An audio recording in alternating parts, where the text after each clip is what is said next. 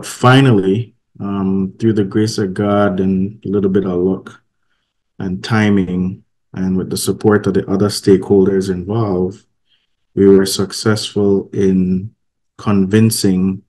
the city of Miramar's leadership and their economic development department, as well as the counterparts with the Belize City Council, the mayor, current mayor,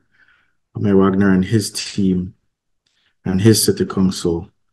to explore the possibility of this sister city relationship. So what is where we are now is that the city of Miramar has formally adopted a resolution to enter into a sister city relationship with Belize City. And we Belizeans, you know, we, we beat out or we're at the front of